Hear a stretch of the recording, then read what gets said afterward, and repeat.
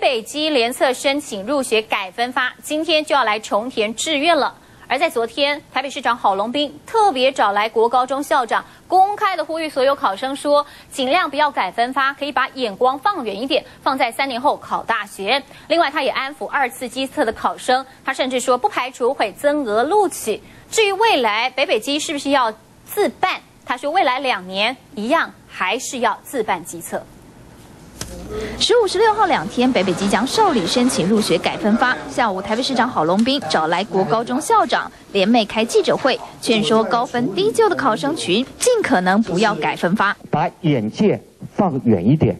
你不要忘记，你的高中三年之后还有所谓的繁星计划。我我相信我们对新生呃所做的一切的准备，应该会让他们觉得，他们进入这所学校以后，未来。三年在这边的学习应该会呃能够适性的发展。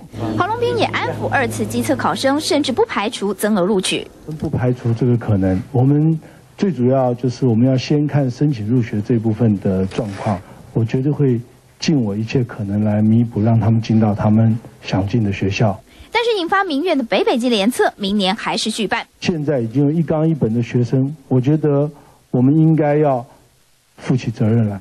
这该分发将在十九号放榜，至于是否增额，北市府将在二十号之后再做决定。好，是不是会增额录取？当然，现在就要等到七月十九号，也就是这些改分发的同学们名单确定之后，才会来确定到底要不要再来增额录取二测的考生。